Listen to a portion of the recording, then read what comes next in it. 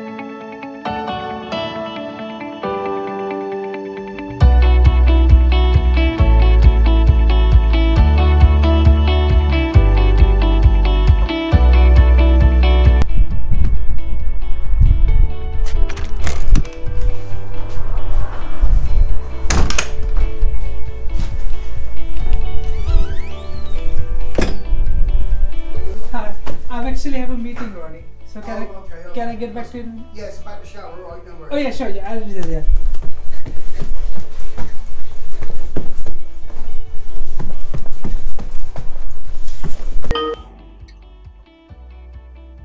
Hello.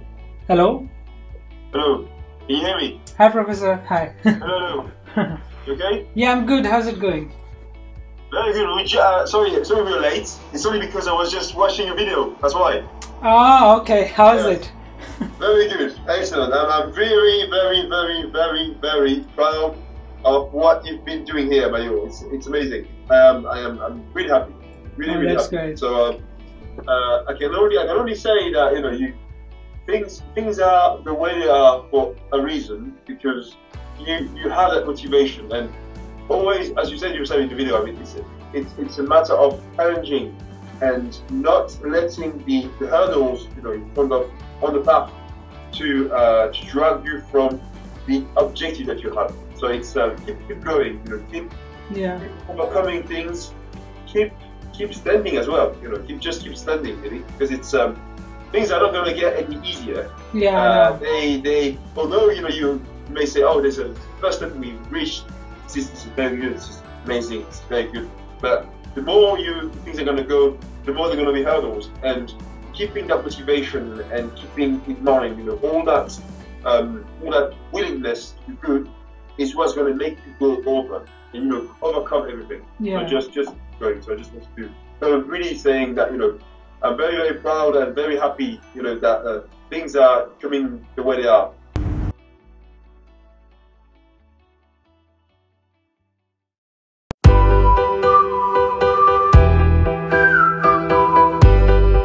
Good morning, guys. It's Sunday, almost 7 a.m. Yep. So there are certain things which I haven't finished uh, during internship, and usually on Monday, which is tomorrow, I have to give update to my R&D manager that okay, I've done that. What to do next now? So I can't tell exactly on which project I'm working on within my internship because it's an R&D internship so i'm not allowed to disclose that but i'm working in an area of deep learning and computer vision.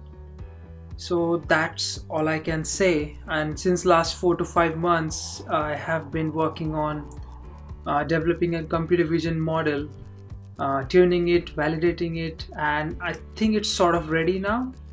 But uh, the, the final end product of this computer vision model is not going to be like the one which we do on laptop. Like we use laptop's gpu and cpu to train it tune it and validate it. But the final end product uh, with this particular project needs to be something compact robust and small. Because of course you can't just develop a system uh, like a power hungry system with the gpus and cpu that that's not how how it's going to work so in order to make it compact uh, and as an embedded device I need to understand TensorRT so TensorRT is a library. In fact I'll show you um, what, what it is.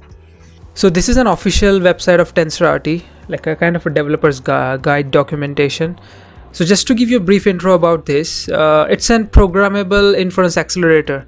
It's basically a software that NVIDIA created to allow people who are creating neural networks and AI to run these networks in production or in devices with full performance that GPU can offer. And according to NVIDIA, they mentioned that it's very robust, it provides low latency, and the resulting inference from TensorRT is 40 times faster and 30 times more power efficient as compared to CPU only inference, which is really good news. And I will highly recommend to you all that check this TensorRT because so far I am I'm looking into it and it, it seems really interesting. And if any one of you is trying to get into AI or computer vision or, or even robotics, I think this is a pretty useful learning because you can use this to develop uh, computer vision models for drones, you know, autonomous vehicles, and even robots. So that's what I'm doing. I'll be doing, I think, whole day on this, and I really have to finish this. One important thing I've seen many videos on YouTube mentioning about, you know, software engineers day in a life and all that stuff. I have to add few things on that because it's important for you guys to really understand this. 99% of the times your day will never end in a way like you finished everything, there is no error in your code, there are no bugs you need to resolve, and specifically if you're a new graduate, I'm not even a graduate, I'm still studying and doing my internship, you have to put those extra hours other than your internship hours. Because for a new graduate, he or she needs to learn and apply the things parallelly. So if you think about Monday to Friday, studies, internships, and all sort of stuff, if you take that out and if you take Saturday and Sunday, those are the only two days you actually get to develop your own skills. Plus, side by side, if you didn't finish your task during your internship by Friday, you have to do that also. That's a reality, I'm not joking at all. I know internships are quite flexible as compared to full time jobs, but I genuinely think that it's a good opportunity to push yourself within an internship because you have that choice in here. Uh, and if you do that you'll be more skillful as compared to the other students. And the growth if you're trying to get into this job after graduation you will be different and you will be standing out from everyone else. So your growth will be more you'll earn more and at much faster rate rather than just uh, doing the same thing again and again every single day. So it's worth it but it's not going to be easy in the beginning because learning and applying parallelly it takes a lot of efforts and time. And and practically if you think uh, our day-to-day life we have to go to uni then you have to do internship. At the end of the day you don't really have that energy you know to to learn something new because you caught up uh, in those studies and internships so much that Saturday and Sunday are the only two days which are like fresh and you can actually learn and put some time and focus uh, into all those things. So just wanted to give you this quick note because it's really important. So just be aware of that. Uh, but it's fun because at the end of the day, whatever you'll be learning and when you see things like moving, specifically in robotics, when you write some algorithm or software, when you when you see robot speaking, when you when you see he's doing some activities, it's really satisfying. So it's worth it. But yeah, just go for it and that's pretty much it. I think i'll see you guys in the next video. I hope you liked it. And take care. Bye bye